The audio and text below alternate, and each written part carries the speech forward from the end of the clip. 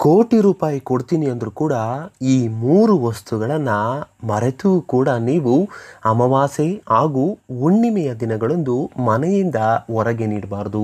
ಈ ರೀತಿಯಾದಂತಹ ತಪ್ಪು ಏನಾದರೂ ನಿಮ್ಮ ಜೀವನದಲ್ಲಿ ನೀವು ಮಾಡಿದ್ದೇ ಆದಲ್ಲಿ ಎಂಟು ವರ್ಷಗಳ ಕಾಲ ಕಷ್ಟಗಳನ್ನು ಅನುಭವಿಸಬೇಕಾಗುತ್ತೆ.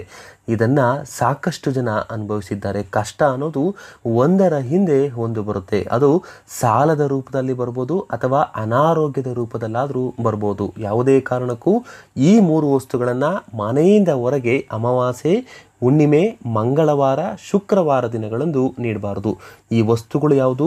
ಈ ವಸ್ತುಗಳನ್ನು ಯಾವ ಕಾರಣಕ್ಕಾಗಿ ಮನೆಯಿಂದ ಹೊರಗಡೆ ನೀಡಬಾರ್ದು ಅಂತ ಇವತ್ತಿನ ಈ ವಿಡಿಯೋದಲ್ಲಿ ತಿಳಿಸ್ಕೊಡ್ತೀವಿ. ಬನ್ನಿ, ನೀವಿನ್ನೂ ನಮ್ಮ ದೇಗುಲ ದರ್ಶನ ಕರ್ನಾಟಕ ಚಾನಲ್ನ ಸಬ್ಸ್ಕ್ರೈಬ್ ಮಾಡ್ಕೊಂಡಿಲ್ಲ ಅಂದರೆ ಈ ಕೂಡಲೇ ಸಬ್ಸ್ಕ್ರೈಬ್ ಮಾಡಿಕೊಂಡು ಪಕ್ಕದಲ್ಲೇ ಕಾಣುವ ಬೆಲ್ ಬಟನ್ ಒತ್ತಿದ್ರೆ ನಾವು ನೀಡುವಂತಹ ಎಲ್ಲ ಮಾಹಿತಿಗಳು ಉಚಿತವಾಗಿ ನಿಮ್ಮ ಮೊಬೈಲ್ಗೆ ಬರುತ್ತೆ. ಅಮಾವಾಸ್ಯೆ, ಹುಣ್ಣಿಮೆ, ಮಂಗಳವಾರ, ಶುಕ್ರವಾರಗಳಂದು ಎಷ್ಟೋ ಜನ ತಮ್ಮ ಮನೆಗಳಿಂದ ಈ ವಸ್ತುಗಳನ್ನು ನೀಡೋದಕ್ಕೂ ಹಿಂದೆ ಮುಂದೆ ನೋಡ್ತಾರೆ. ಆಗಿನ ಕಾಲದಿಂದಲೂ ಈ ಪದ್ಧತಿ ನಡೆದುಕೊಂಡು ಬಂದಿದೆ. ಹೌದು, ಇದು ಸತ್ಯ ಕೂಡ. ಯಾವುದೇ ಕಾರಣಕ್ಕೂ ಮೊದಲನೆಯದಾಗಿ ಈ ವಸ್ತುವನ್ನು ನೀಡಬಾರದು. ಅದು ಯಾವುದು ಅಂದರೆ ದುಡ್ಡನ್ನು ಯಾವುದೇ ಕಾರಣಕ್ಕೂ ಮತ್ತೊಬ್ಬರಿಗೆ ಸಾಲದ ರೂಪದಲ್ಲಿ, ಯಾರಿಗಾದರೂ ಸಹಾಯದ ರೂಪದಲ್ಲಿ ಮಂಗಳವಾರ, ಶುಕ್ರವಾರ, ಅಮಾವಾಸ್ಯೆ, ಹುಣ್ಣಿಮೆ ದಿನಗಳಂದು ನೀಡೋದಕ್ಕೆ ಹೋಗಬಾರ್ದು. ನಿಮ್ಮ ಅದೃಷ್ಟ ಏನಿರುತ್ತೆ? ನಿಮ್ಮ ಮನೆಯಲ್ಲಿ ಮಹಾಲಕ್ಷ್ಮಿ ದೇವಿ ಇರ್ತಾಳಲ್ಲ, ಮಹಾಲಕ್ಷ್ಮಿ ದೇವಿ ಆ ದುಡ್ಡಿನ ಜೊತೆಗೆ ಅವರ ಕೈಗೆ ಹೋಗ್ತಾಳೆ. ಆದ್ದರಿಂದ ನಿಮಗೆ ದಾರಿದ್ರ್ಯತನ ಹೆಚ್ಚಾಗುತ್ತೆ.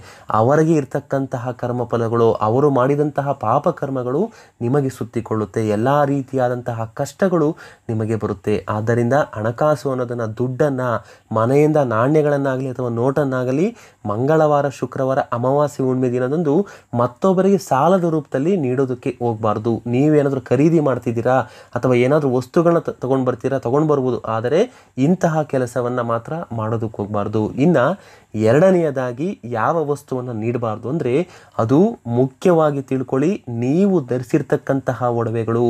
ಮನೆಯಲ್ಲಿ ನೀವು ಏನು ದುಡ್ಡು ಇಡುವಂತಹ ಜಾಗದಲ್ಲಿ ಒಡವೆಯನ್ನು ಇಟ್ಟಿರ್ತೀರಲ್ಲ, ಅಂತಹ ಒಡವೆಯನ್ನು ಮತ್ತೊಬ್ಬರ ಕಷ್ಟಕ್ಕೆ ನೀಡಬಾರದು.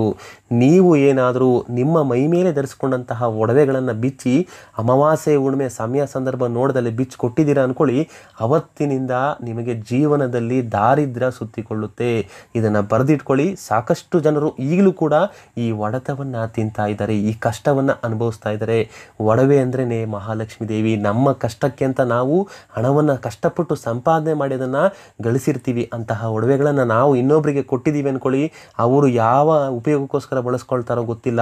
ಅವ್ರಿಗಿರ್ತಕ್ಕಂತಹ ಕರ್ಮಫಲಗಳೇನು ಅಂತ ಗೊತ್ತಿರೋದಿಲ್ಲ. ಅವರ ಕೈನಿಂದ ಆ ಒಡವೆಗಳನ್ನ ಮುಟ್ಟಿ ಅದನ್ನು ಗಿರಿವಿ ಇಟ್ಕೊಳ್ತಾರೋ ಅಥವಾ ಮಾರ್ತಾರೋ ಆ ಒಡವೆಗಳು ಪುನಃ ಬರುತ್ತೋ ನಮ್ಮ ಕೈಗೆ ಅನ್ನೋದು ಗೊತ್ತಿರೋದಿಲ್ಲ. ನಾವೇನಾದರೂ ಅಮಾವಾಸ್ಯೆ ಹುಣ್ಣಿಮೆ ಸಮಯ ಸಂದರ್ಭ ನೋಡೋದಲ್ಲಿ ಕೊಟ್ಟಿದ್ದೀವಿ ಅಂದ್ಕೊಳ್ಳಿ ಎಂಟು ವರ್ಷಗಳ ಕಾಲ ಕಷ್ಟ ನಮ್ಮ ಬೆನ್ನ ಹಿಂದೆನೇ ಇರುತ್ತೆ.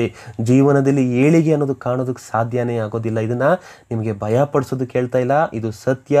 ಕಷ್ಟಗಳನ್ನು ಅನುಭವಿಸಬೇಕಾಗುತ್ತೆ. ಆದ್ದರಿಂದ ಇದು ಎಚ್ಚರಿಕೆಯನ್ನು ನೀಡ್ತಾ ಇದ್ದೀವಿ. ಎರಡನೆಯದಾಗಿ ಯಾವುದೇ ಕಾರಣಕ್ಕೂ ನಿಮ್ಮ ಮನೇಲಿರ್ತಕ್ಕಂತಹ ಒಡವೆಗಳನ್ನು ಮತ್ತೊಬ್ಬರ ಕಷ್ಟಕ್ಕೋಸ್ಕರ ಅವರು ತುಂಬ ಗೋಗರ್ದು ಕೇಳಿದ್ರು, ಹತ್ತು ಕರೆದು ಕೇಳಿದ್ರು, ಅದಕ್ಕೋಸ್ಕರ ಕೊಟ್ಬಿಟ್ವಿ ಅಂದರೆ ಕಷ್ಟಗಳು ಮಾತ್ರ ಭಿನ್ನ ಹಿಂದೆ ಬರುತ್ತೆ. ಇನ್ನು ಮೂರನೆಯದಾಗಿ ಯಾವ ವಸ್ತುವನ್ನು ನೀಡಬಾರ್ದಂದ್ರೆ ನಿಮ್ಮ ಮನೆಯಲ್ಲಿ ಇರ್ತಕ್ಕಂತಹ ದವಸ ಧಾನ್ಯಗಳು ಅದರಲ್ಲೂ ಮುಖ್ಯವಾಗಿ ಹಾಲಾಗಿರ್ಬೋದು ಮೊಸರಾಗಿರ್ಬೋದು ಅಥವಾ ನೀವು ಪೂಜೆಗೆ ಬಳಸ್ತಕ್ಕಂತಹ ಅರಿಶಿಣವಾಗಿರ್ಬೋದು, ಇಂತಹ ವಸ್ತುಗಳನ್ನು ಮನೆಯಿಂದ ಹೊರಗೆ ಅಮಾವಾಸ್ಯೆ ಹುಣ್ಣಿಮೆ ದಿನ ನೀಡಬಾರ್ದು. ಏನಕ್ಕೋಸ್ಕರ ನೀಡಬಾರ್ದು? ಯಾಕೆ ಗುರುಜಿ? ಅರಿಶಿಣ ಕುಂಕುಮ ಕೊಟ್ಟರೆ ಒಳ್ಳೇದಲ್ವಾ? ಮುತ್ತೈದೆಯರು ಮನೆಗೆ ಬರ್ತಾರೆ. ಮುತ್ತೈದೆಯರು ಮನೆಗೆ ಬಂದಾಗ ನೀವು ಅರಿಶಿಣ ಕುಂಕುಮ ಕೊಟ್ಟರೆ ಬಹಳನೇ ಒಳ್ಳೆಯದು. ಆದರೆ ಎಷ್ಟೋ ಜನ ಮನೆಯಲ್ಲಿ ಏನಾದರೂ ಅರಿಶಿಣ ಖಾಲಿಯಾದಾಗ ಅಕ್ಕಪಕ್ಕದವರಲ್ಲಿ ಕೇಳಿ ವಿಚಾರಿಸುವಂತಹ ಪದ್ಧತಿ ಇರುತ್ತೆ. ನಮ್ಮ ಮನೆಯಲ್ಲಿ ಅರಿಶಿಣ ಖಾಲಿಯಾಗಿದೆ ಕೊಡಿ ಅಂತ ಕೇಳ್ತಾರಲ್ಲ, ಅಂತಹ ಸಂದರ್ಭದಲ್ಲಿ ಎಚ್ಚರಿಕೆಯಿಂದಿರಬೇಕು ಕೆಲವರು ಬೇಕು ಅಂತಲೇ ಅರಿಶಿಣವನ್ನು ಕೇಳಿ ಪಡ್ಕೊಳ್ತಾರೆ. ನಿಮ್ಮ ಅದೃಷ್ಟ ಅವರ ಪಾಲಾಗುತ್ತೆ. ಆದ ಕಾರಣ ಅವರು ಎಷ್ಟೇ ಸ್ನೇಹಿತರಾಗಿರ್ಬೋದು, ಎಷ್ಟೇ ಆತ್ಮೀಯ ಬಂಧುಗಳಾಗಿರ್ಬೋದು, ಅಕ್ಕಪಕ್ಕದಲ್ಲಿ ಇದ್ಕೊಂಡು ಹಾಲು, ಅರಿಶಿಣ ಕುಂಕುಮ ಅಥವಾ ಬೇರೆ ಏನಾದರೂ ಖಾಲಿಯಾಗಿದೆ ಅಂತ ಅಥವಾ ಉಪ್ಪನ್ನು ಏನಾದರೂ ಕೇಳಿದ್ರೆ, ದವಸ ಧಾನ್ಯಗಳೇನಾದರೂ ಕೇಳಿದ್ರೆ ಅಮಾವಾಸ್ಯೆ ಹುಣ್ಣಿಮೆ ದಿನದಂದು ಮನೆಯಿಂದ ಹೊರಗೆ ಕೊಡಬೇಡಿ. ಇದು ಮುಖ್ಯವಾದಂತಹ ವಿಚಾರ. ಈ ಮೂರು ವಸ್ತುಗಳನ್ನು ಯಾವ್ಯಾವುದು? ಒಂದು ದುಡ್ಡು ಎರಡನೆಯದು ಒಡವೆ, ಮೂರನೆಯದಾಗಿ ದವಸ ಧಾನ್ಯಗಳು, ಅದರಲ್ಲೂ ಹಾಲು, ಮೊಸರು, ಅರಿಶಿಣ, ಉಪ್ಪು ಈ ನಾಲ್ಕು ವಸ್ತುಗಳನ್ನ ಯಾವುದೇ ಕಾರಣಕ್ಕೂ ಮನೆಯಿಂದ ಹೊರಗೆ ನೀಡಬಾರ್ದು. ಇಂತಹ ವಸ್ತುಗಳನ್ನ ನೀವು ನೀಡಿದ್ದೀರಾ ಅಂದರೆ ಕಷ್ಟಗಳನ್ನು ಮಾತ್ರ ಅನುಭವಿಸೋದಕ್ಕೆ ಸಿದ್ಧರಾಗಿರಬೇಕು. ಎಲ್ಲ ರೀತಿಯಾದಂತಹ ಒಡೆತಗಳು ಬರುತ್ತೆ. ಸಾಕಷ್ಟು ಜನ ಇದರ ಬಗ್ಗೆ ತಿಳಿಸಿದ್ದಾರೆ.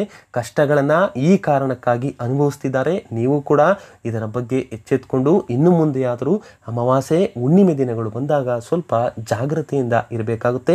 ಈ ವಸ್ತುಗಳ ಬಗ್ಗೆ ಗಮನದಲ್ಲಿ ಇಟ್ಕೊಳ್ಬೇಕಾಗುತ್ತೆ. ಇಂತಹ ವಿಶೇಷವಾದ ಮಾಹಿತಿ ನಿಮ್ಗೆ ಇಷ್ಟ ಆದರೆ, ಇಂತಹ ಮತ್ತಷ್ಟು ಧರ್ಮ ಸಂದೇಹಗಳ ಬಗ್ಗೆ ನಿಮಗೆ ಮಾಹಿತಿ ಬೇಕು ಅಂದರೆ ತಪ್ಪದೇ ನಮ್ಮ ದೇಗುಲ ದರ್ಶನ ಕರ್ನಾಟಕ ಚಾನಲ್ ಸಬ್ಸ್ಕ್ರೈಬ್ ಮಾಡಿಕೊಂಡು ಈ ವಿಡಿಯೋನ ಪ್ರತಿಯೊಬ್ಬರಿಗೂ ಕೂಡ ಶೇರ್ ಮಾಡಿ ಮುಂದಿನ ಬಾರಿ ಮತ್ತೊಂದು ವಿಶೇಷ ದೈವ ಮಾಹಿತಿಯೊಂದಿಗೆ ಭೇಟಿಯಾಗೋಣ. ಧನ್ಯವಾದ ಸ್ನೇಹಿತರೆ.